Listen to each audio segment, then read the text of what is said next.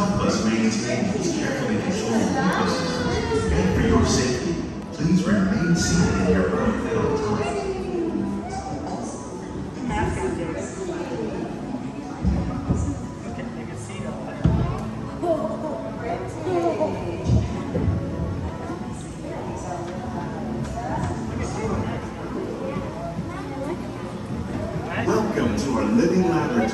where scientists from Epcot and the U.S. Department of Agriculture are exploring innovative ways to produce beautiful harvests now and into the future.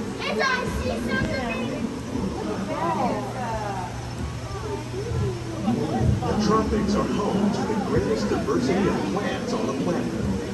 Many of these, like papaya, bananas, cacao, coffee, and rice, are well known around the world. These are just a few of the edible plants that have been an important source of nutrition for people living in the tropics. Many are rich in vitamins and minerals, while others are well adapted to growing in less than ideal conditions. Some, like the water lily, thrive in wet, swampy areas and waterways. All parts of this plant, even the flower petals, are edible. The starchy heat of the plant has long been used to make flour for baking. One day, many of these lesser-known tropical plants may be as important as the bananas growing on both sides of the boat.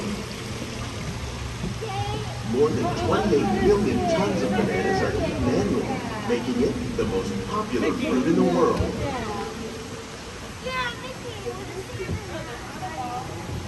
They usually have that, the big bowl.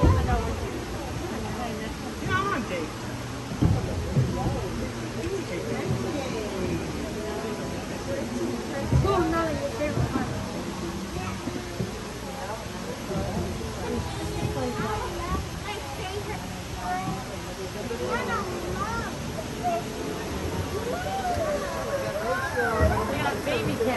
When we mention farming, you probably don't think of fish. But fish farming, or aquaculture, accounts for nearly half of all the seafood consumed globally. Tilapia, bass, and catfish, like the ones you see here, are three of the more popular crops raised by fish farmers. Recycles the water it takes. As a result, we need to save millions of gallons each year.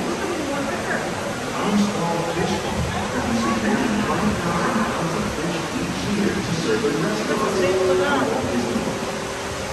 Innovations like this one can play an important role in our efforts to produce farmable harvests and still protect natural resources.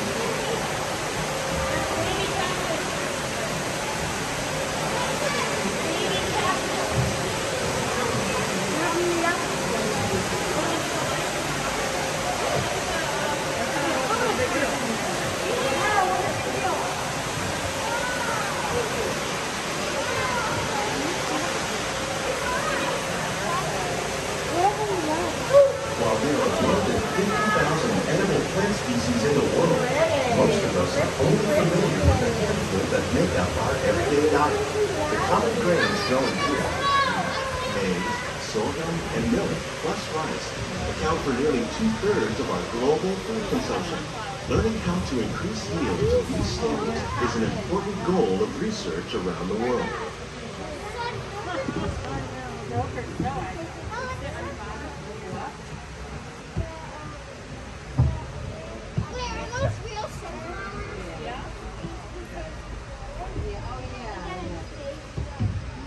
These plants definitely on their way up. Innovative growing techniques like these increase yields while more efficiently using resources like water, fertilizer, and pesticides. Another innovation at work here is our integrated pest management program. By populating our greenhouses with beneficial insects that prey on harmful pests, like aphids and flies, we are significantly reducing our reliance on conventional pesticides. We're growing these plants using our nutrient film system. This technique precisely controls and recycles water and nutrients. With it, we can produce over 27,000 heads of lettuce a year in this one small area.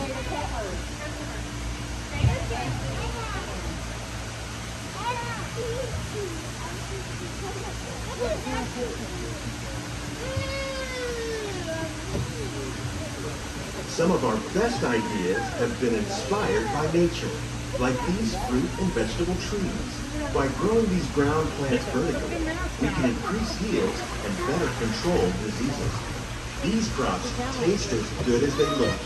In fact, we serve more than 15 tons of produce from our greenhouses in restaurants here at the land every year.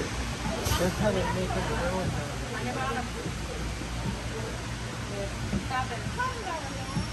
The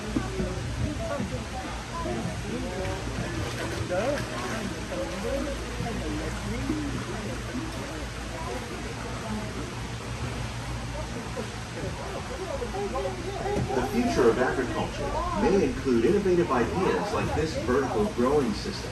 Plants grown in this way use a fraction of the space required by traditional growing methods. That saves water and increases production. The aquaponic system on your left combines hydroponics with aquaculture. The fish provide a natural source of fertilizer for the plants, and the plants help keep the water clean for the fish.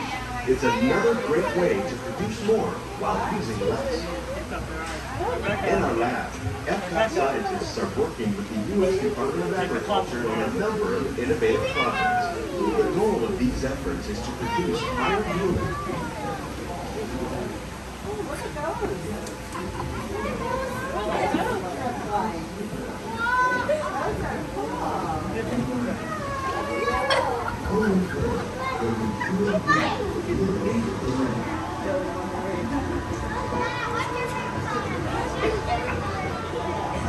greenhouses represent just a fraction of the work being done worldwide to produce bountiful harvests for our growing population.